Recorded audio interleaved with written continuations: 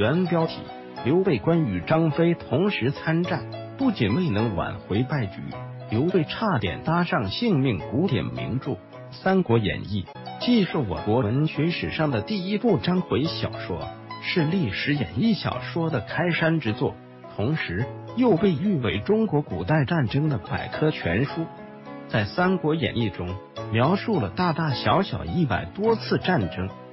这其中既有作者按照史料记载进行加工的真实战例，也有作者根据作品需要虚构出来的战斗。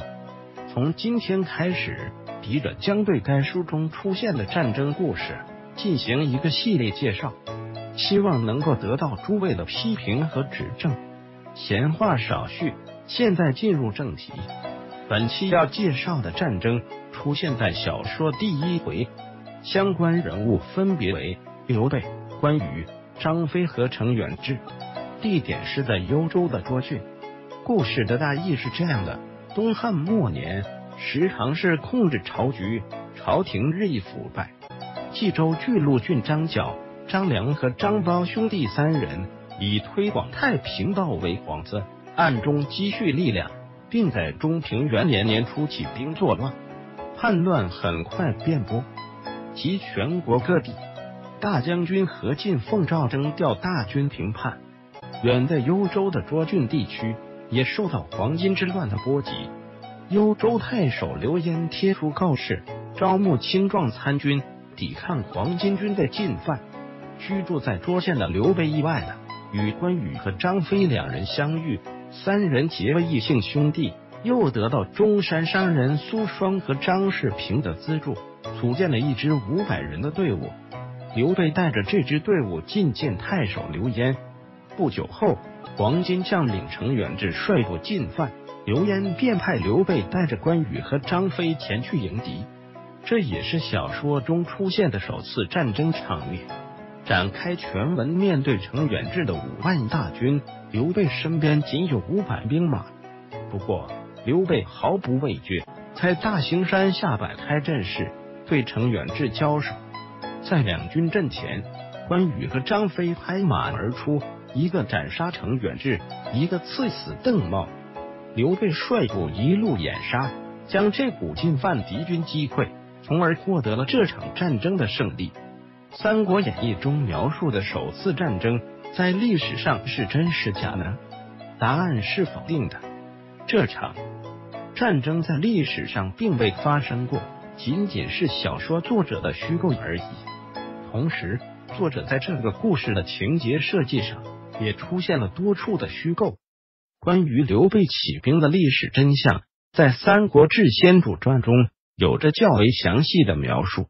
据该传记载，刘备好交结豪侠，年少征赋之中山大商张世平、苏双等资累千金，贩马周旋于涿郡，见而易之。乃多与之精彩，先主有使得用和图重。这段记载说明了两个问题：首先，刘备拉起的这支小队伍，并非是在黄巾作乱期间才匆匆组建的，而是在黄巾作乱之前就已经存在。其次，刘备组建这支队伍的目的，也并非是为了稳定涿县的局势。很可能是为了苏双和张世平商队的安全充当保镖的职责。至于说到刘备在黄巾作乱时期的表现，《三国志先主传》中的记载非常简单，仅有灵帝末、黄巾喜、周俊各举义兵，先主率其属从校尉邹靖讨黄巾贼有功，除安喜为这一句话，具体的战力不详。同时。小说中出现的程远志和邓茂二人也不见于史料，因此可以断定小说中的这场战争并非历史的真实。既然在涿县击败程远志和邓茂并非历史的真实，那么历史上刘备首次上阵厮杀的记载又发生在什么时间呢？关于这一点，在《三国志先主传注引典略中有记载，不过。时间并非是小说中描述的中平元年（公元一百八十四年），而是出现在中平四年（公元一百八十七年）。此战的战场并非是刘备的故乡涿县，而是幽州渔阳郡一带。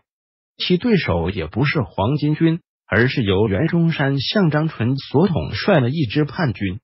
据《三国志先主传》注引典略，载平原刘子平之备有吴勇，使张纯反叛青州被赵，遣从事将兵讨纯。过平原，子平见备于从事，遂与相随，欲贼于野，被中创养死。贼去后，故人以车载之，得免。从这段记载来看，刘备的这支队伍完全不是张纯的对手。两军刚开始交战，刘备的军队便被对手击溃。在混战当中，刘备身负重伤，只得躺下装死，这才逃过一劫。